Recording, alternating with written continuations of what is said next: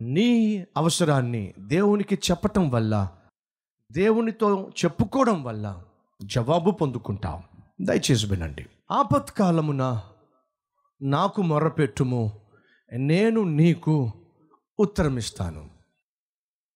అనేక సందర్భాల్లో ఆధ్యాత్మిక జీవితంలోనూ కుటుంబంలోనూ ఆర్థిక వ్యవస్థలోనూ సేవలోనూ అనేక సమస్యలు వస్తూ ఉంటాయి. ఒడిదుడుకులు వస్తూ ఉంటాయి. అలా వచ్చినప్పుడు సహజంగా మనం ఏం చేస్తామంటే మనకు బహు దగ్గరగా ఉండే స్నేహితునికో లేక బంధువుకో లేక అక్కకో లేక చెల్లికో లేక తండ్రికో తల్లికో చెప్పుకుంటాం.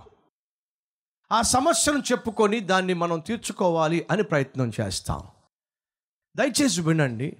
దేవుడు చెప్పింది ఏమిటి ఆపత్కాలమున నీవు నాకు మొర్రపెట్టుము నాకు మొర్రపెట్టుము అన్నాడు కానీ మీ అక్కకో మీ అన్నకో మీ మామకో మీ అత్తకో లేకపోతే మీ బంధువుకో మీ స్నేహితునికో చెప్పు అని లేదు. మరేముంది? నాకు మొర్రపెట్టు.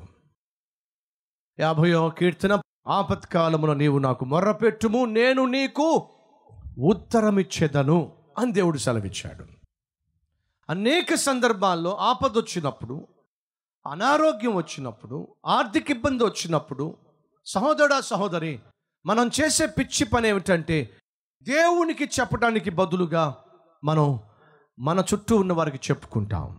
మన సంఘస్థులకు చెప్పుకుంటాం. మనకు తోడుగా ఎవరైనా ఉంటే వాళ్ళతో చెప్పుకుని బాధపడుతూ ఉంటాం. తత్ఫలితంగా సమస్యకు సమాధానం దొరకకుండానే అనేక సందర్భాల్లో అల్లాడిపోతూ ఉంటాం. మొన్న మీటింగ్స్ అయిన తర్వాత నేను నా కుటుంబం కలిసి ట్రైన్లో వెళ్ళిపోతున్నాం.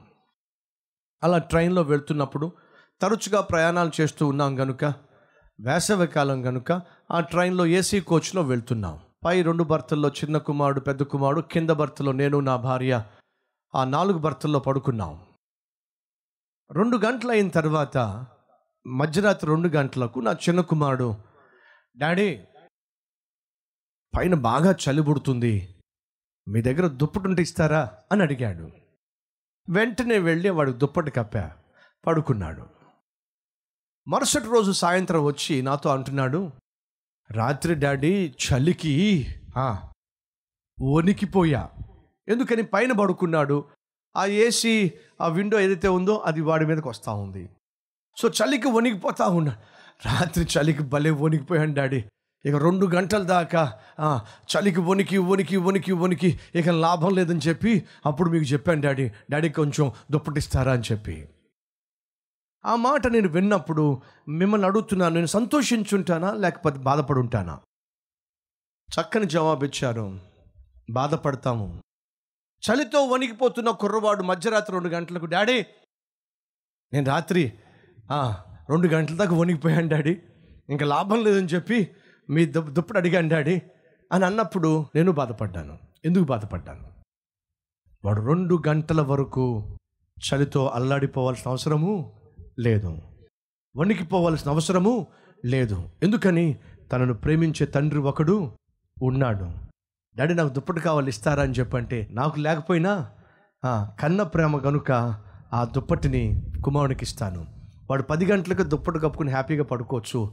నాలుగు గంటల సేపు వనకాల్సిన అవసరము లేదు. ఈరోజు మనలో చాలామంది వణికిపోతున్నారు. ఈరోజు మనలో చాలామంది శారీరకంగాను ఆధ్యాత్మికంగాను ఆర్థికంగాను కుటుంబ పరంగాను అనేక విషయాల్లో అల్లాడిపోతున్నారు.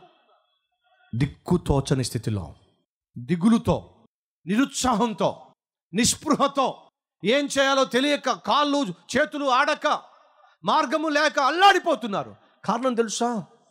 నువ్వు దేవునికి నీకున్న కష్టాన్ని నీకున్న సమస్యను చెప్పలేదు కాబట్టి. అప్పుడు నా కుమారుని చూసి అడిగాను అంతసేపు ఎందుకు వెయిట్ చేసావురా అంతసేపు వెయిట్ చేయాల్సిన అవసరం వచ్చింది. ఆ పది గంటలకు అడగచ్చుగా. దాడి దుప్పటి కావాలని చెప్పి దయచేసి వినండి. నా దగ్గర ఒక దుప్పటే ఉంది కానీ ఆ పరలోక ముందున్న తండ్రి దగ్గర చాలా దుప్పట్లు ఉన్నాయి ఆ తండ్రి దగ్గర సకల ఆశీర్వాదాలు ఉన్నాయి.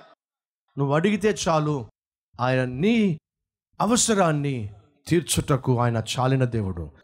ఈరోజు క్రైస్తవ సమాజంలో సేవలో సంఘంలో సేవకులలో ఉన్న పెద్ద లోటు ఏమిటంటే ప్రార్థన లేని జీవితం. మనం చాలాసార్లు సమస్యల్లో ఉంటున్నాం కానీ సమస్యలు తీర్చగలిగిన దేవుణ్ణి మాత్రం సంప్రదించటం లేదు. ప్రార్థించటము లేదు.